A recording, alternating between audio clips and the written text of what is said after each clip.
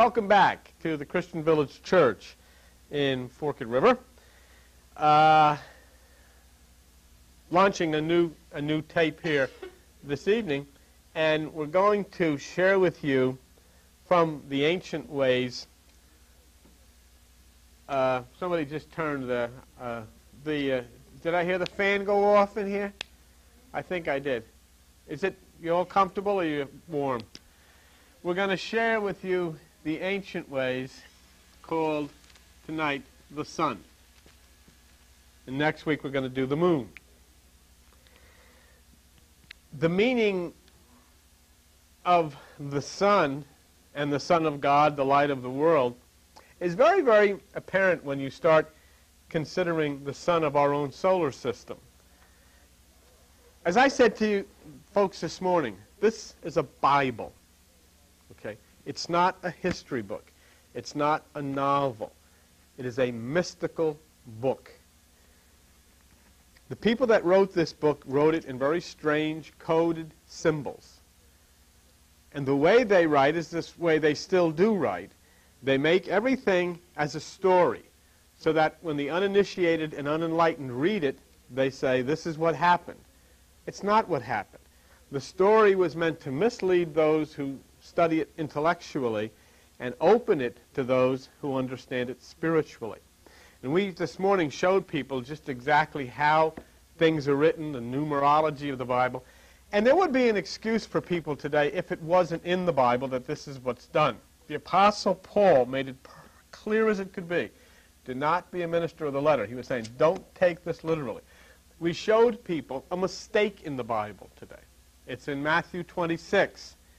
And, and uh, you might want to, you might want to, just for the fun of it, take a look at it. In Matthew chapter 26 and verse, uh, excuse me, Matthew chapter 27, okay, and verse 9. And it says, Then was fulfilled that which was spoken by Jeremy. That's Jeremiah the prophet. That's a mistake. It wasn't spoken by Jeremiah the prophet. It was spoken in Zechariah, in Zechariah 11, verse 12. It's an error. And the reason that you can find errors is because this book has been fooled with by people for thousands of years, hundreds of years. Everybody's gotten their hands on it. They've revised it. They've changed it. They've added to it. They've subtracted to it. Anything you put on paper, people will change. That's why the ancients wrote it in coded symbols. So that even though people could change it, for the most part, they didn't change the storyline. And the storyline is what covers up the mystical part. You see? I can't, I, I it, is, it, it is astounding to me. I, I was watching on, on a television today, a preacher was talking about Isaac, Abraham and Isaac, and literalizing it that this beloved, wonderful God had this man tie his son to a bunch of wood on an altar and stand over him with a knife, and just when he got his knife in the air, said to them, Never mind. Oh, God, you're so wonderful. Isn't this wonderful? Well, what about the kid? And he looks down to the kid, Isaac, never mind. Isaac was uh, just had a heart attack. If he was, you know, he, he certainly was under some stress. Well, it's not a literal story. It didn't really happen. It was never meant for people to believe that that really happened. And we'll go into it, but next Sunday morning, I, I thought those of you that like to get into the mysticism and the meanings of things in the Old Testament we'll enjoy it because next Sunday morning we're doing the mystical David and Goliath and showing exactly, you know, the encounter and what David and Goliath mean. Uh, as to how it is written by mystics. This book was not written by Harvard scholars. It was written by Eastern mystics. How it can be taken literally is really amazing. But the sun in the sky has been used as a mystical symbol forever. That's, as we get into this, I think I'll be able to show you that. But from the sun, from the sun in the sky flows all life. All the life of the world comes from the sun. But there's a sun in the human body as well. And it is the solar energy of the body, and it's located right in your abdomen, and it is called the solar plexus, the place of the sun. Its contraction and expansion accompanies the life streams that roar throughout your body. And this, your body is, operates exactly the same way as the universe does. And it's filled, if you can get it under a microscope, it's filled with little colonies and little atoms and little planets and all kinds of different things inside it. You. And the primitive faiths of thousands of years ago justly considered the sun and its fiery life as a symbol of the universal presence of what we call God. Because the sun, you know, without the sun there can be no life. And with the sun there is all life. And as you know, the story of Jesus Christ is copied from the movement of the sun. Obviously, the sun could not have copied from the life of Jesus Christ because the sun is from infinity. But when they wanted to have a crucifixion, the sun goes through the Southern Cross on December the 21st. When they wanted to know how many days and nights should be in the tomb, it's three days and three nights because that's the winter solstice of December 22nd, 23rd, and 24th. And when shall we have the birth of God's only Son? December the 25th because that's when the Son is literally born by the trajectory of the earth. And then when shall we have new life and resurrection? We'll have it on the, the spring equinox in, in, in, April because that's when the sun consumes the ram and sits at the right hand of power in the, in the northern hemisphere. So everything is copied off of this. Your religion, your Christian religion is copied word from word from ancient religion. And, you know, I know it's hard to take, but, and then I, especially when it comes from me, it's hard to take. But for, by all means, I would be glad to go as soon as they open this new Fork, Forked River library and sit down and show anybody who would like to look. It's copied word. Your God and your, your, your, your, your saints and, and all of your Bible statements are copied word for word from the, from the writings of Zoroaster, Ahura Mazda. The, the, the nativity of Jesus Christ is copied word for word of the nativity of Hare Krishna the virgin birth, the wicked king, the star, the shepherds, the whole thing. It was written 7,000 years before Jesus, and it was talking about Hare Krishna. But nobody knows it. And they come into these churches and they get on television as if this is the first time it happened. It's not. It's always been, there's always been these stories. And the stories were focused around the sun. God's only son. There is only one sun in the solar system. That is God's only begotten son, the light of the world. And without it, nothing can live. And it, and it goes through the cross. It goes into the tomb. It is born on December the 25th. It consumes in the fiery consummation of Aries the burnt offering. It sits at the right hand of power, and spring and summer come. That's the Son of God. And that's where the story's copied from. See? And, and, and then we get upset, oh, you know, he's saying this about you. I'm not saying about anything. I'm just simply telling you what is a fact. And how in the world can you ever come to grips with what life is if you're, if you're not willing to come to grips with what fact is? The sun is the logos of all of the ancient beliefs, and the beliefs were built around what they called the seven rays of the sun. The seven rays of the sun go right back to the ma magical, mystical number seven. You know what's amazing to me? The Bible tells you in Revelation 5:1 that the book of life sits in the right hand of him who is on the throne, written within, which is inside of yourself, on the backside, which talks about the energy through the spine, sealed with seven seals, which talks about the seven chakras.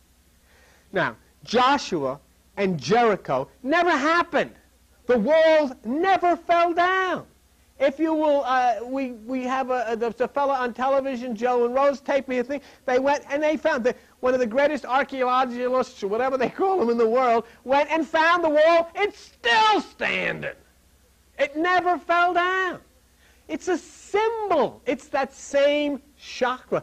When you go around six times, when you mount the six chakras, it'll stay. But when you go for that seventh chakra, which is the pineal gland, the wall will fall down, and you'll enter into the city, which is the right hemisphere.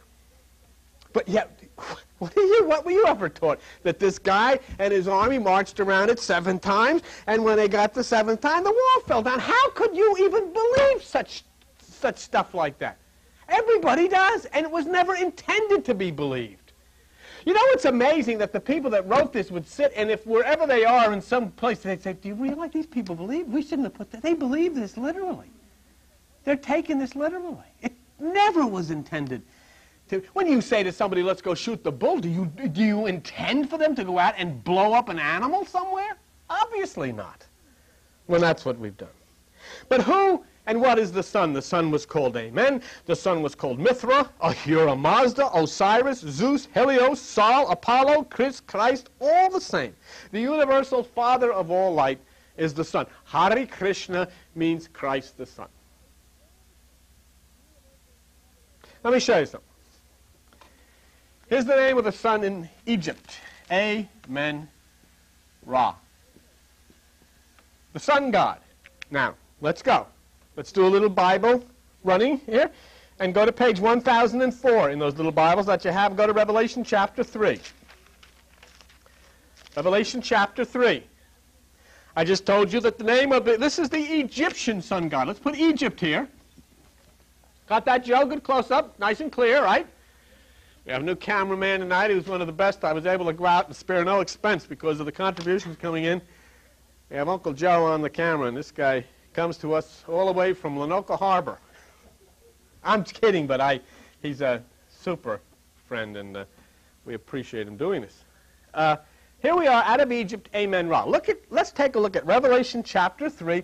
Go to verse 14. Jesus Christ is going to make a statement. And what does Jesus Christ call himself? Revelation chapter 3, verse 14. And unto the angel of the church of the Laodiceans write, These things say the Amen. He calls himself by the name of the title of the Egyptian sun god. He call, now, I mean, you got a Bible. It says Bible on the front of it. It's a King James Bible. And in Revelation chapter 3, verse 14, Jesus Christ calls himself by the name of the Egyptian sun god. Now, look at this here country, Egypt. All right? Now go to page 778 in those little Bibles. Rusty, go to the book of Matthew. Go to Matthew chapter 2. Matthew chapter 2. You know what I'm trying to give you is circumstantial evidence so you can say, hey, wait a minute here. What have I been believing all of my life, and what, what's the truth of this thing?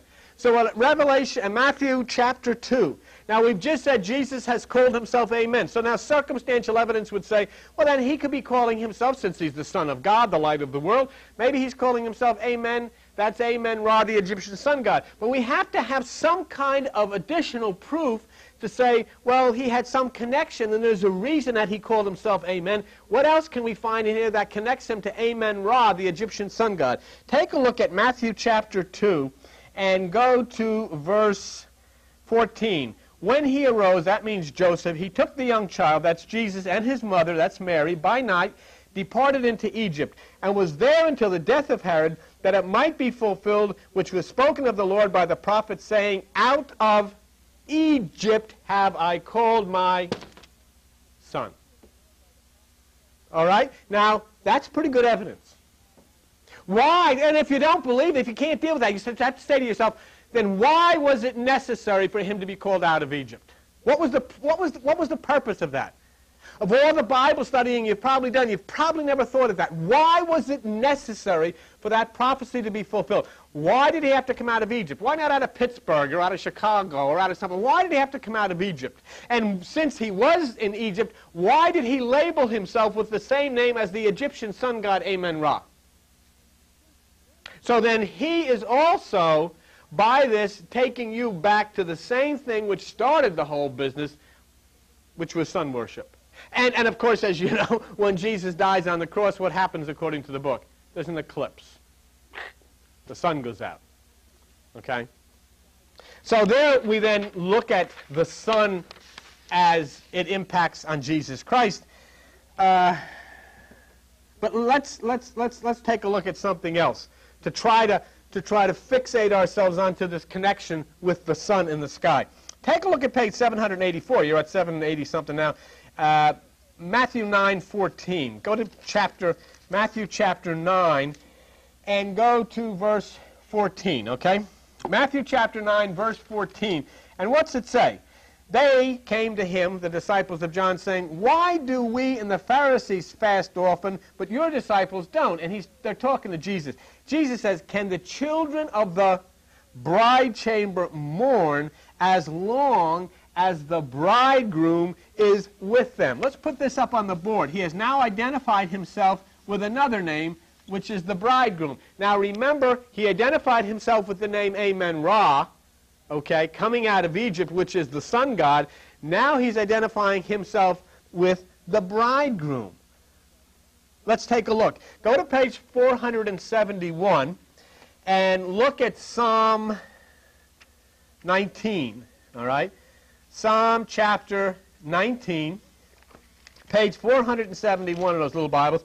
Psalm chapter 19, and let us look at verse 1. The heavens declare the glory of God. So something in the heavens. Day unto day utters speech, and night unto night shows knowledge. There is no speech nor language where their voice is not heard. Their line has gone out through all of the earth, their words to the end of the world. In them, that means the cosmos, has he set a tabernacle for the which is as a bridegroom coming out of his chamber. The Son is identified as the bridegroom. Jesus has identified himself as the bridegroom, and Jesus identified himself as the Amen, which is the Egyptian sun God. Okay? Oh, let us then take another look here. Go to page 507 to Psalm 84. And do you now? So here, here's where if you ever you see people with bumper stickers, what do they say? Jesus is Lord. Okay, praise the Lord. God is Lord, Jesus is Lord, and all of this kind of business. And they'll come on television and say, Is Jesus Lord of your life? Let me show you something. Go to page 507, go to Psalm uh, chapter 84, and I want to identify something here that will strengthen our evidence. Psalm 84 and verse 11. For the Lord God is a sun, S-U-N, and shield. Do you see that? The Bible is saying this. I'm not up here saying this. I'm trying to show you where you can write down, you can take notes, you can decide for yourself. I'm trying to give you the evidence. It says the Lord is a sun, S-U-N. Jesus calls himself Amen, which is the Egyptian sun god. He identifies himself as the bridegroom, which is also the sun. Okay. Now, take a look at page 773. The rest of you go to the book of Malachi. Malachi is the last book in uh, the Old Testament. Just before Matthew is the book of Malachi. Open it to Malachi chapter 4 and look up to number 2. Malachi 4 2, page 773. Unto you that fear my name, that means the way, shall the Sun, S-U-N, of righteousness arise with healing in his wings, and you shall go forth and grow up as calves of the stall. This was the ancient symbol right here that was would hang in the temples in Egypt. You'd have the sun and then wings coming out of the sun. This was a was a sun disk, which well, you, you can see that you know if you ever watch Joseph Campbell on television and so forth and so on, he would show you those types of things. So the ancients who originated the sun as the object of worship are completely misunderstood by us. Anybody who would worship a globe of incandescent gas is a screwball. I mean, you know, that's not what they were doing. They weren't looking at a globe of incandescent gas and saying hallelujah. They were worshiping the spiritual sun, which the visible sun is but a symbol. When you begin to understand how Jesus Christ actually portrays this in the part he played and the part that the Bible plays, you begin to realize why Jesus' life is copied from the Son. Did you ever think of that? Did you ever stop to think for a minute? How be it that the life of Jesus Christ is copied and duplicates the movement of the sun in the sky? To the, right up to the days. You know, crucifixion's the shortest day, three days and three nights in the tomb, the birth out of uh, December 25th, sitting at the right hand of the Father, the, the, the, uh, the, the, burnt offering, the whole bit that the sun goes through every year is the life of Jesus Christ. Exactly to a T. Why? Why is that? What's the connection? Why is the life of Jesus duplicates the life of the sun in the sky? Why does he call himself with the name of the Egyptian sun god? Why does he call himself the bridegroom, which is the sun? Those are the things that you think. You say, what? But see, if people then began to understand that the sun represented all life, then of course, you know, just like us, what do we do? the thing gets deteriorated, what do we do? We have baptisms. We, we don't understand, nobody understands what baptism is. There's really a philosophy that God is not going to accept you unless you stick your head in the water or somebody sticks your head in water. Well, for what? I mean, just think about it for a minute. Why? It wasn't even in the Old Testament. It's Buddhist. John the Baptist developed that as an Essene through Buddhism. Baptism. And Jesus Christ, when they asked Jesus Christ, because he developed his knowledge through the same areas, when they asked Jesus Christ, said, what authority do you have? They said, to do these things. He said, you know John the Baptist? They said, of course. He said, well, do you know where he gets the authority to do that? And they didn't know. And they said, well, when you find out where he gets the authority to do that, then I'll tell you where I get the authority to do what I do, because I do the same thing. Okay. Baptism is worshipped by Christians. Oh, you've got to be baptized. Why? What happens? And you can go to any penitentiary in the country, and 99% of the people on death row have all been baptized. They've all come, most of them come from Christian homes. Most of them got to church. Uh, But they're killers and rapists. And why? Because they didn't do anything. They got their head wet. Because they never really got baptized. Because baptism means taking the earth, which is the lowest stage of consciousness, into the water, which is the second stage, which happens in baptism, up into the third, which is nirvana, and then finally to the fourth, which is the spirit. That's as old as the hills. In every country that exists, there are five stages of human consciousness, and they have to do with the earth, the water, the air, the fire, and then the renewed mind. That's baptism. When you get baptized is when you have taken yourself inward into the truth of God in the second stage of consciousness, which is water, come out of the truth of God to the third stage of consciousness, which is air, and then when you've risen up into the air, are touched by the fire, which is the Holy Spirit. That's baptism. Sticking your head in the water is ridiculous. But that's when you take it literally. And Paul said, don't take it literally. And what did Jesus Christ say? Jesus Christ says, unto you is given to know the secrets of the kingdom, but then to, to them that are without, all these things are parables. You're living in religion in parables, and you're placing all the emphasis on these things that are symbols of deep inner things. And so the important thing is for you to stick your head in water, not in realizing that the water must represent the truth to the inner consciousness. We do that. They lay on hands, they do circumcisions, they do fastings, and all of these types of things that have nothing whatever to do with spirit. But we don't know anything because we've stayed away from spirit. We've taken the woman, the, the, the, the, the beautiful feminine part of, of God away. All of these things that we do are deep symbols but all we hold on to are the symbols. And the Apostle Paul warned you about that. If, I mean, I could stand up here and say, oh, excuse me, I stand corrected. I'm sorry. I'm wrong. Oh, I shouldn't say that about baptism. Oh, I shouldn't say that about laying on hands. I shouldn't say that about faith in God. I mean, these are really things that you should do. I, I, could stand up here and I could say, go throw your darts. But if the Bible, the Bible does not support them, the Bible supports what I'm telling you. Let's go see. Page 979. And in page 979 is the book of Hebrews. So let us look at these things which are so holy to us and so much a part of our culture. And they're not, they're not spiritual. They're not what God wanted. They're traditional things that church wants you to do. And so they, and they got you jumping, running in the creek. You take your little kids for the circumcision. They do the laying on hands. All of these types of things because that's what the church wants you to do. God doesn't want you to do that. How do I know? Chapter 6, verse 1.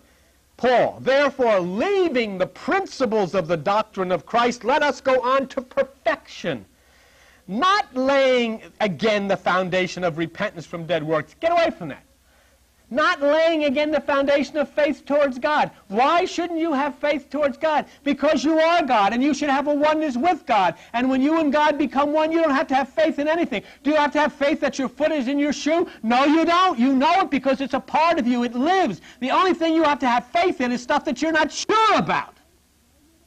See? And what else do we should, what else should we stop getting involved in? Verse 2, Stop laying the foundation of the doctrine of baptisms. Why do they still do it? They love everything else the Apostle Paul says. But stuff that gets in their way, they don't want to talk about. What about laying on hands? He said, stop it. What about resurrection of the dead? He said, stop it. What about eternal judgment? He said, stop it. These are all mystical, spiritual things, and you're taking these things literally and screwing your head up. And churches go on and on and on and do it and do it and do it. And the Bible that I've got up here on this podium says, stop it. And the one that you've got in your and, and your, your hand says, stop it, and the church won't stop it because as long as they can keep you doing this stuff, they can keep you confused to where you don't know what in the heck you're believing, and, and, and there's nothing ever going to happen except you're going to put all of your faith in these symbols instead of understanding what the symbols mean. And that's what we've done. And it's still hard. It is still hard. Oh, my child hasn't been baptized. It's still hard to get past that because it's such a tradition. It's like, it's like asking you, you know, don't have turkey on Thanksgiving. Oh, I can't do that. I gotta have it. I, I hate it, but I gotta have it. Why? Because everybody does it. Yeah? Okay? So that's what Paul said. You see, you know, you ought to, you to, you to, you to, you to take that one out. You know, uh, Christianity's already ripped that out. They never, did they ever read that to you in church? They don't read Why? Why don't they read it? It's in the book. It's in the Bible. Oh, we could all sing together. How do we know we shouldn't do baptisms? How do we know? The Bible tells us so. That's why. Apostle Paul says, yes, you should be baptized, but go on to perfection to be baptized. Sticking your head in polluted water certainly is not going to get you anywhere other than into the hospital. What did he say? Go, let us go on to perfection our baptism in spirit in which we enter the water of truth in the second era of consciousness and then come out of that water up into the third stage, which is air. What the Apostle Paul said, out of body experience he had in which he was taken up into the third heaven. That's what he's talking about. Gee. The whole meaning of our scriptures is the rising of the sun. Don't you see? This is you. Your life. What happens? What's happening right now? Right now. As we are living, oh, we are living in the sunshine of August. And it's warm, and the bees are buzzing, and the flowers are blooming, but something's going wrong. Sun isn't quite like it used to be. It's starting to go down a little bit. The days are not quite as long as they were in June. And every day there'll be a little less light, won't there? And in a couple of months, in the afternoons, it will be dark. The light will be gone. And we will struggle then to pull ourselves into the fight against the cold winds that will howl and all the trees. Life will fall off of them. Why? Because the sun is no longer up where it should be. It's down here where it shouldn't be. It's the lesson. And we'll go right into December. And on the 21st of December, there will be the shortest day of the year when the sun is crucified and the cross, Crux is the constellation. And then, December the 22nd, 23rd, and 24th, the sun will sit in the bowels of the earth. It's a sad time while you're out shopping for Nintendo games. And on December the 25th, new life comes, born again the trajectory of the earth and the sun starts to rise. And every day will get a little bit longer until once again the sun rises up into the same as in your life. Same, it's exactly what happens to you. When you feel that coming upon you, the sun of your life starts to go down. You go into a depression. You go into a guilt. You go into nervousness, and it infects your whole family, and there is darkness throughout your house until that sun can be raised back up to where it belongs. But that is a struggle is the struggle between light and darkness is not a Christian origin. It is the origin of a very strange prophet by the name of, you should know this, Zoroaster. The struggle between light and darkness is the teachings of Zoroaster. And darkness was Ahriman. Darkness, Ahriman. And light was Ahura Mazda. You even see that sometimes. You can buy Mazda light bulb. Did you know that? Ahura Mazda. Ahura Mazda, the god of the sun and fire. Me ask you. He is the god of sun and fire. Isn't it coincidence that he is the one who, through Zoroaster, sent the Magi. The Magi come from this tribe of Ahura Mazda. He is the one, the God of sun and fire, who sends the Magi to find Jesus, who calls himself God's only begotten Son, Amen, the bridegroom, and says, I have come to bring fire on earth. Is he the Son, Jesus, of Ahura Mazda? And if he is, why didn't anybody ever tell you? You know why? Because they're prejudiced against the culture from whence he comes. Because this one originated in Iran. And can you see that guy with the beard saying, I told you so? Interesting. well, yeah. Well, anyhow, when the worst arrives, Ahriman will seem to have conquered the world because darkness comes all over the earth. That's the winter. See, when you're in the winter, Ahriman has conquered the earth. And, and, and, that's, that's just, you know, part of your, your soul. But Ahura Mazda will send, and this is a strange name, Saoshyant, S-A-O-S-H-Y-A-N-T. Saoshyant will come to redeem the world and bring light to the world and to overcome Ahriman and the darkness. And this is interesting. When Saoshyant comes to the rescue, he will come seated upon a white horse, followed by an army equally mounted on milk white steeds. That's an Iranian story. I want you to look at something. Let's, let's put this white horse. All right, let's look at something. Let's go to page 1014 in your little Bibles. Go to Revelation. Go to Revelation chapter 19. Revelation chapter 19.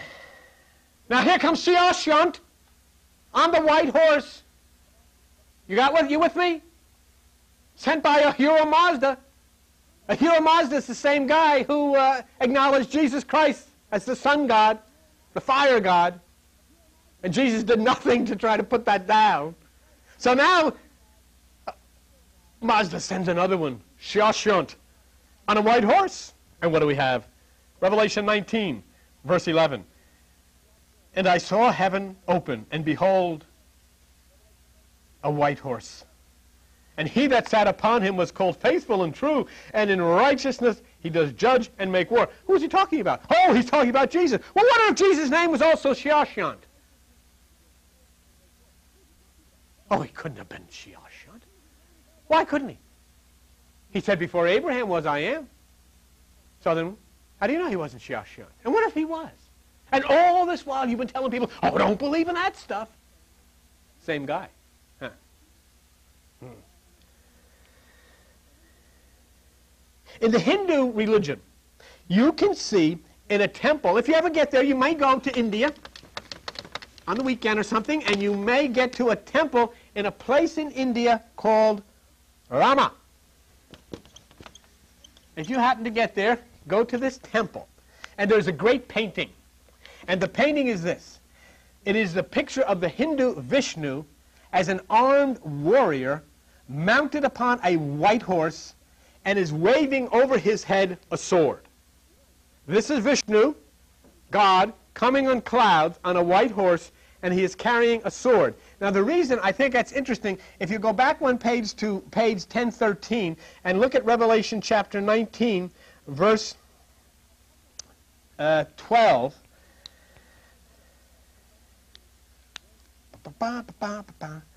Where am I? Okay, Revelation 19, 9, And he that sat upon him was faithful and true that saw. His eyes were as a flame of fire. Here's what I want. And this is what I wanted to get to. On his head, because also Vishnu wore many crowns, on his head were many crowns, and he had a name written that no man knew but himself. But I, the point I was trying to make to which I blew was that Vishnu also had several crowns on his head. And it says in Revelation 19:12, on his head were many crowns. Vishnu had four crowns. He wears four crowns on his head. And note here that it says in Revelation 19:12, on his head were many crowns. The white horse is known as the horse of the sun. And Saoshyant, who comes on the sun on a white horse, is also born of a virgin. Isn't that interesting? Saoshyant, that we talked of, Ahura Mazda, who comes on the white horse, is born of a virgin. And he comes to regenerate the world. So basically then, the darkness which is the mind, which is the fear, which is the guilt, which is Ahriman, is destroyed by Saoshyant when he comes on the white horse to the risen Son of Man, which is the pineal gland of the brain.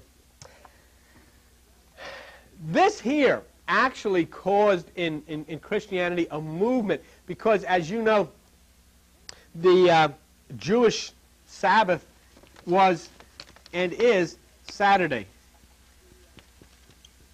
But the Christian movement, which came basically out of Essenianism and Buddhism, and was very much into the zodiac and astrological sciences, moved away from Saturday because this is the day of Saturn. Saturday is named after the constellation Saturn. I don't know how many of you know that, the planet Saturn. And that's the day of cold, of darkness, and destruction. So the day of the Christ and the day of religion was moved to Sunday, the day of the sun. Light, victory over darkness, and rebirth. So the image then that uh, of the sun and of God becomes so apparent to us that we begin to see scriptures maybe in a little different light. And we'll wind down with this. Page 779, look at Matthew chapter 4, okay? Matthew chapter 4 and verse 16. The people which sat in darkness, that does not mean ignorance. That means those who sit in meditation. Those who close themselves off from that which is the outer light. The people that sat in darkness saw great light. And to them which sat in the region of the shadow of death, light is sprung up. And of course, Jesus Christ talked about the single eye, and your body will fill with light. And of course, Jesus said in John 8 12, I am the light of the world, and he that follows me shall not walk in darkness, but shall have the light of life. You remember the Old Testament, even what it was, was it Joshua made the sun stand still. This is exactly what Jesus is talking. There was nobody. You can't make the sun stand still. You can't make the earth stand still. If you make the earth stand still, do you know what would happen if you stopped the earth? The Atlantic Ocean, you would stop the earth uh, like that. The Atlantic Ocean would come like that and meet the Pacific Ocean like that. I mean, that, it's, it's insane that people would actually believe these types of things. This is not what God's God's law cannot be broken. When you make the sun stand still means that you are staying under the light of the eternal sun which is the Christ. In your battle you will be victorious because you are not walking out into the darkness of Ahriman. You are staying into the light of Jesus Christ. You are staying into the light of the sun. You are staying in meditation, and you'll be victorious. And people who have come here, and I've told you about that, and I don't know what to do or how to say it, but they have sat in the light of the sun, and they have remissions of diseases, and they have benefits in their life. But when they walk out of that light of that sun, the same old darkness encroaches on them, and it's the same old horrible story. Same old story. But Jesus Christ did not say, hey, look, here I am, the light of the world. I'm Jesus. I'm hotshot. I'm the son of Ahura Mazda. I'm the son of God. I'm, I'm Amen. And I'm the bridegroom. And I'm all of this stuff because he said something about you. And this is the part that religion has kept from you. And this is the part that they scream from this place to try to get into your head, the important part. And it's this. And it's on page 780. It's in Matthew 5. Matthew 5, page 780 and verse 14. Jesus Christ said to you, You are not a worthless sinner. You are not somebody that has to be subject to religion. You are the light of the world. And a city that is set on a hill cannot be hid. What does he just say? A city that is set on the hill and the city is consciousness. Where must the consciousness be? On the hill, on the mountain, in the higher realms of consciousness. And when that is set up there, you are the light of the world, and that city cannot be hid. And that's, what, that's why That's why if you really follow Jesus and obey Jesus Christ and you do what he says, that's why his lordship will lead you into the salvation that other people claim but have never been able to find. Because salvation comes by doing what he says. So what is all of this that uh, you might also be a part of it? I'm going to take you, as we conclude this, to a holy place of silence of Christ who speaks in parables. The Christ who says, tell no man the Christ who speaks of meditation and so forth, and we'll wrap it up there. Let's, let's just look, because I don't think you've got any place else to go tonight, we're, we're winding down here. Let's wrap this up, but I don't want to race through it because it's, I think it's important for you to see it and, and, and come away encouraged by it, okay? Let's go to page 949 in those Bibles. The rest of you go to 2 Corinthians. And let's do a little bit of a Bible study, which we'll wrap up here, but I think it's interesting to you. 2 Corinthians, and let's go to chapter 12. And Paul speaks.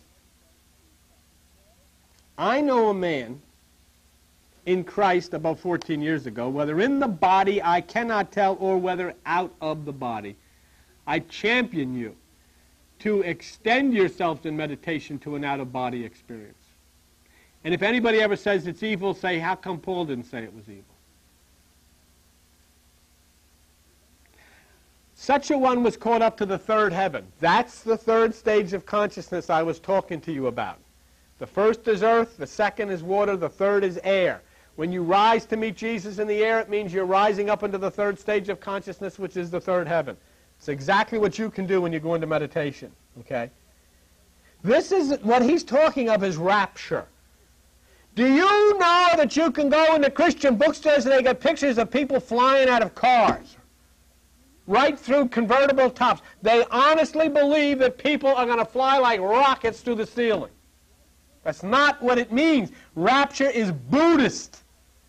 Rapture is one of the ten worlds of Buddha. Rapture means being lifted off from the lower carnal aspects of the flesh into that third stage, into that fourth stage that Paul was talking about, being lifted up into the higher realms of consciousness in heaven. To be caught up to paradise is to be raptured in the ecstasy of meditation. The classic mystics expressed by Plato, Proclus, Hercules, and all of these others spoke of the inability to speak of these mysteries the same way you do. You have difficult time talking to people about this. Whenever you talk to people about this stuff, they stare at you. Huh? Oh, yeah, okay. Yeah. They don't know what the heck you're talking about. But watch. Listen. Go to page 932. You're on 949. Go back to 932. Go to 1 Corinthians chapter 2. This is why I say you've got to begin to understand this Bible mystically, spiritually, and not literally. 1 Corinthians chapter 2, verse 6. This is what Paul says. We speak wisdom, watch this now, among them that are perfect. Let me repeat that. We speak wisdom among them that are perfect. What did Paul tell you a few moments ago? Stop the baptism. Stop the laying on hands. Stop the faith in God. Stop all of this church stuff. Stop all of this religious stuff and go on to perfection. And then Paul turns around and says, we speak wisdom among them who are perfect. When you enter into the nirvanic realms of consciousness, you are separated from the stains of human thought you enter into perfection, then you can begin to understand the Apostle Paul. Otherwise, you're playing games with the Bible. Howbeit we speak wisdom among them that are perfect, yet not the wisdom of this world, nor of the princes of this world that come to nothing. In ancient times, being raptured into paradise, like Paul was being raptured into what they called Elysium. I like that word. Yeah? E L E S. Let me get it. E L E S I U M. Elysium. In other words, when somebody had a divine encounter in meditation, they would say, I have been to Elysium. That's pretty. Has a, has a sound to it, you know. But that's what it was. That's what Paul's talking about.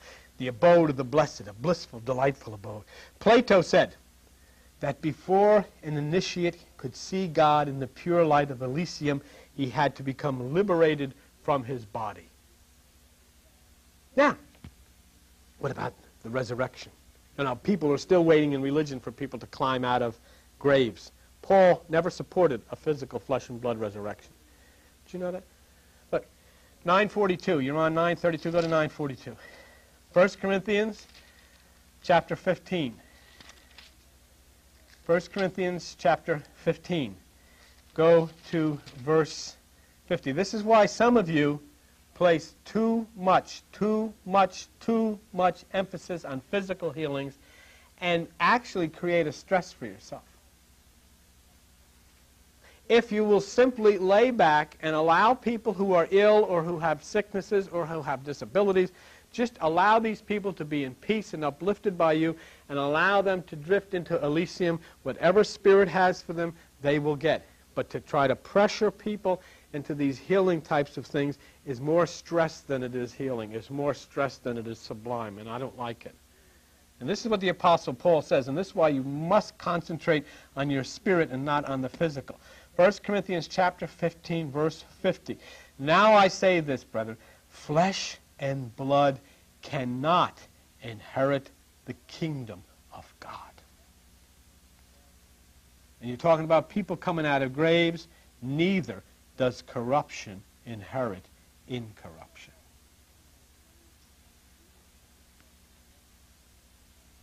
Got to start thinking about these things.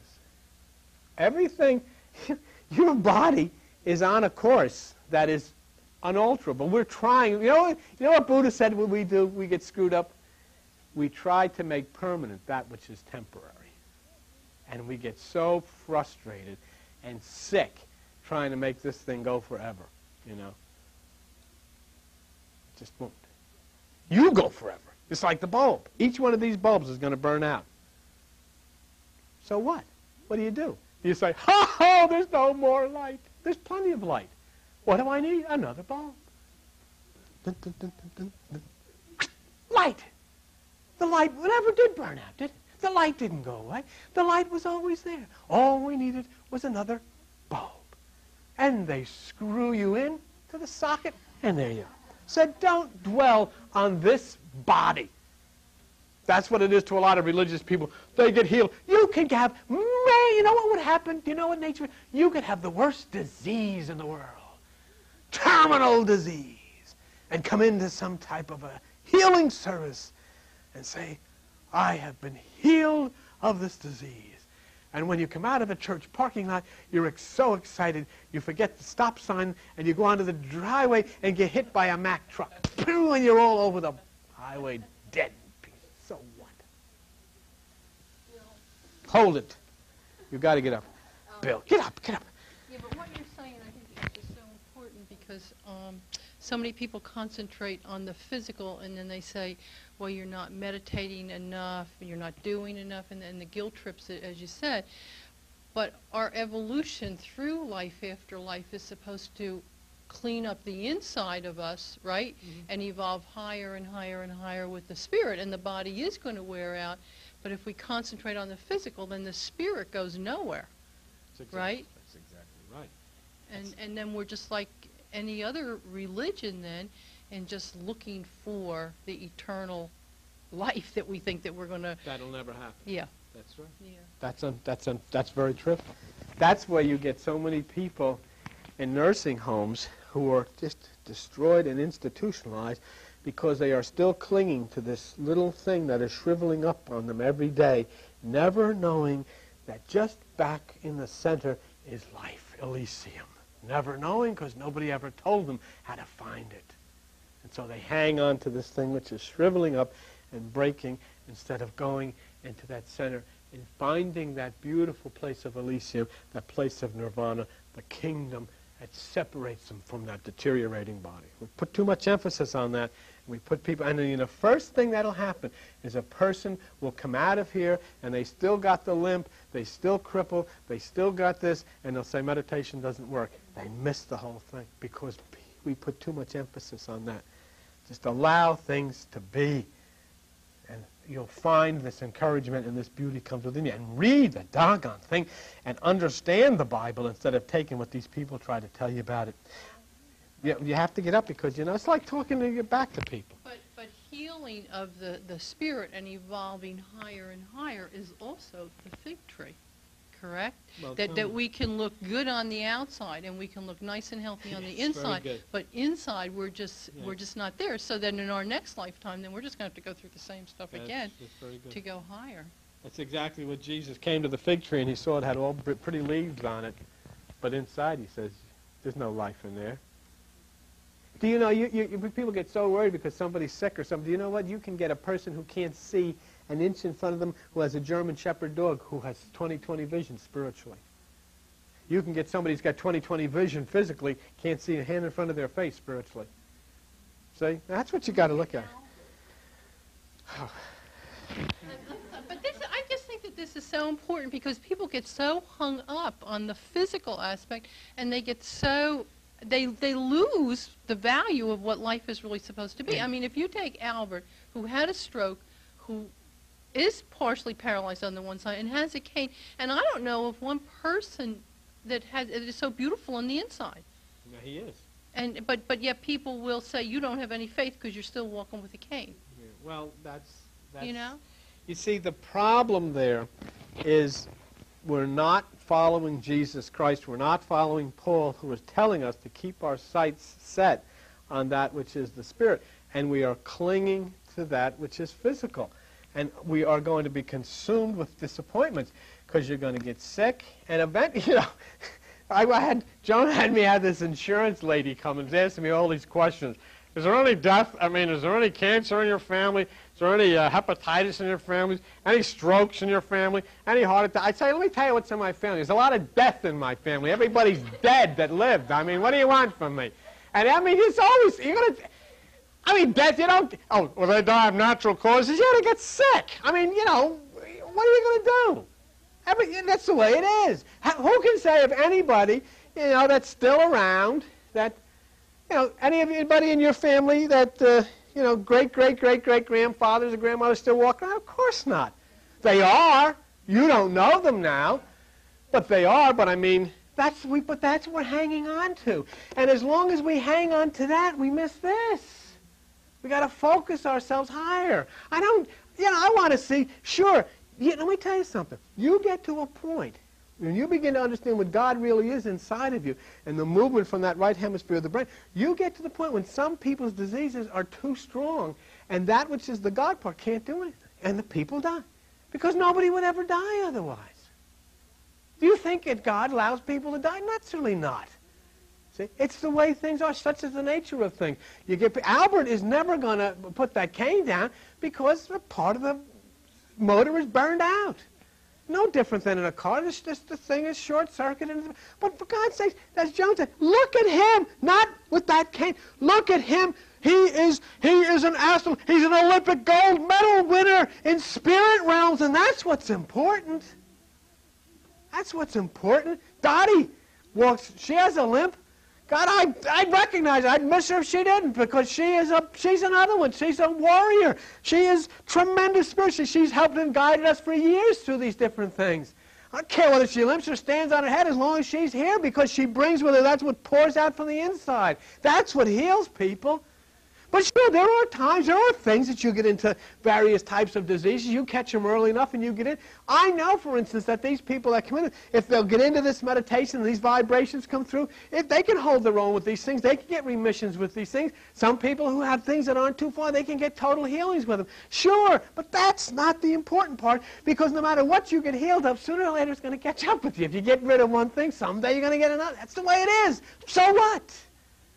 The important thing is getting to understand the, the rapture, getting to understand the sun, and all of these beautiful things within us and allow God to lift us up. Uh, Rose was telling me, like, uh, I've been praying, to, you know, uh, write, write her name in the middle of the circle and all of this stuff, and it came to me one day, wait a minute, what the heck am I telling you to write names in the middle of the circle?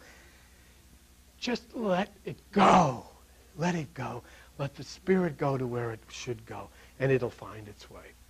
Even here we try to direct things, but we learn as we go along. I wanted to tell you, as we, as we close, there was a fellow named Apuleius who described his rapture in the Greek mysteries, and I thought you would like to hear it. It's not in the Bible, it's not in Christianity, it's in the Greek mysteries, and I just wanted you to hear Apollonius, okay? He said, I approached the confines of separation, and having trod on the threshold of Proserpina, that's a mythological place, returned having been carried through all the elements. Now listen very carefully to this. In the depths of midnight, I saw the sun glittering with a splendid light together with the supernal God. And to this divinity approaching, I paid the tribute of devout adoration. And it said, I am the light of the world. I am the light of God. I am the sun within you. A fellow named Apollonius, who you've never heard of. Next week, uh, we're going to study the moon. East of the sun, west of the moon, whatever. Those are good things, though, but that, those are some things we should get in. We get into. Just accept everybody right where they're at, you know? Gee, you know, I, I, sometimes have people that have an infirmity of some kind, they're supposed to be sick, and people come in and they look like they're, you know, football players, and yet they're really sick. Those are the ones, you know, they, they so many, But we can't judge people by their appearance, and that's not what's important. We just come in and let those vibrations So We got, you know, we're trying to get this healed or that healed.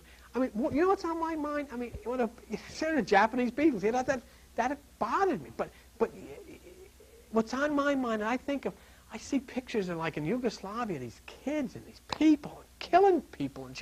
And then I go and still see in these places in, in Africa, these little kids starving, their stomachs. How in God's I would, if I wish, if I was God, I would, I would really come down here and I would just really uh, just stop, you know, stop it. This world deserves to be just thrown out of orbit and, and just be destroyed. How in the world? Can you, with all of this riches and go around launching and having Fourth of July parades, we're all going to sit down in a couple of months and say, oh, thank you, God, for Thanksgiving and for the blessings you've bestowed on us. And right while we're eating, there's going to be a little baby dying in its mother's arms, and she doesn't have anything to eat. That's sick. It's not right. That's, these are not. These are things that your mind has to be changed about, and it changes when you come to the Son of God. You might say, I can't do anything about it. You can do everything about it by launching the sun within you to go forth in, in power. And don't think it can't change. It's on the verge of the great change, as you're seeing all over the world. I can't write all the endings to these strange stories that are happening, but things are going to change. And the one thing that I will just celebrate, oh, you know, I can't wait till Jesus come back. Now, forget it. I, don't, I could care less.